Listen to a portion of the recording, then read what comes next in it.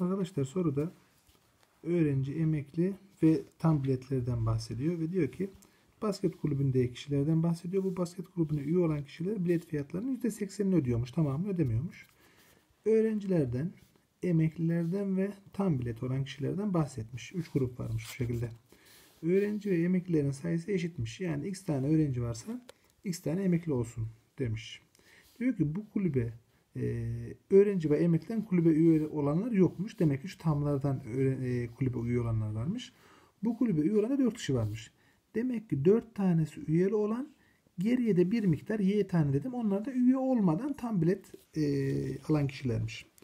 Diyor ki bu maç zaten kulüp 40 kişilik e, pardon toplam 40 kişi varmış ki maça gelen. Demek ki şunların toplamı 2x artı y artı 4 40'mış. Ben diyorum ki 2x artı y. E 4'ü de karşıya atarsam 36'ya mı denk gelir 40 olabilmesi için? 2x artı y'nin 36 olduğunu bulduk. Diyor ki bu maça toplam 126 TL ödendi diyor. 1026 TL ödendi diyor. E bir öğrenci tanesi 10 liradan 10 x tane öğrenci 12 lira para öder. X tane emekli tanesi 20 liradan 20 x lira para öder.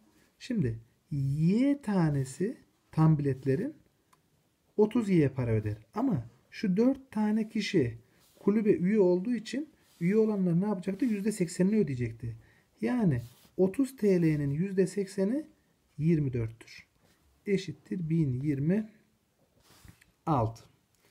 Arkadaşlar şu 4 çarpı 1026'dan 96'yı karşıya göndersek 930 olur. Yani 30x artı 30y eşittir 930. Her tarafı 30'a bölmüş olsaydık buradan x artı y'miz arkadaşlar 31 olurdu. E biz zaten yukarıda da 2x artı y'mizin 26 olduğunu biliyoruz. Eğer burada e, bana neyi sormuş olsaydı mesela y'yi sormuş. Neyi soruyor y'yi yani? Öğrenci veya emekli olmayan kişileri sormuş. O yüzden bence y'yi bulmak için yukarı x 2 ile aşağıya da eksi ile ya da yukarı eksi 2 ile çarpabiliriz. Arkadaşlar buradan da y değerimiz 26 olarak bulunur.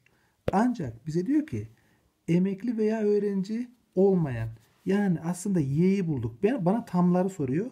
Y 4 tane de burada vardı. Yani 26 4 de burada vardı. Toplam 30 kişiden oluşur.